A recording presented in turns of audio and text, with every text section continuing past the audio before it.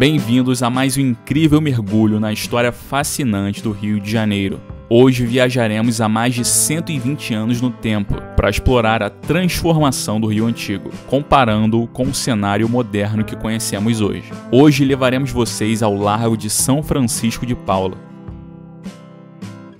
essa foto, retirada por Augusto Malta, é da primeira década de 1900 e mostra ao fundo um grandioso prédio que hoje abriga o Instituto de Filosofia e Ciências Sociais e Instituto de História. É considerado um ícone do patrimônio universitário brasileiro e um símbolo da expansão da cidade no século XVIII. Já foi a Academia Real Militar, instituída por Dom João VI, no prédio destacam-se quatro colunas da arquitetura, gregas em estilo jônico. Observe à esquerda parte do cercado da estátua de José Bonifácio, e à direita a Rua Luiz de Camões, onde haviam trilhos por onde passavam os bondes. E ao final, parte da fachada do Real Gabinete Português de Leitura, assim como hoje há pontos de táxis, Vemos charretes aguardando possivelmente novos passageiros. Os pedestres andam em seus trajes elegantes a maioria dos homens com chapéus e ternos, e as mulheres com sombrinhas e longos vestidos. Vamos ver como está o largo hoje em dia.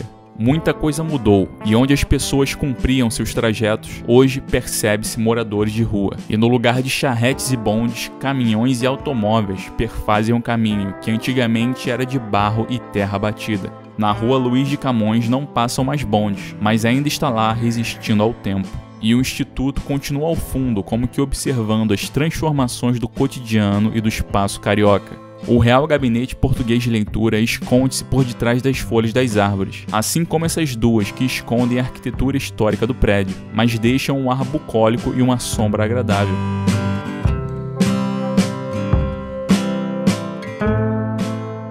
Essa foto do outro lado da praça, do grandioso Parque Royal, uma loja de departamentos que ficava perto da Rua do Ouvidor e tinha todo tipo de roupa, como se fosse uma Renner, Riachuelo ou C&A dos dias de hoje, porém com a moda parisiense. Os elegantes transeuntes em seus trajes sociais ditavam a moda de sua época.